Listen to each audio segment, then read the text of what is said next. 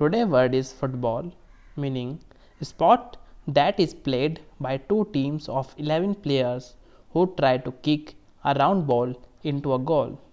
The large round ball that is used in this game. Example 1 A football pitch match. Example 2 Two blocks beyond our school was a field where boys played football. Example 3 A heavy leather football.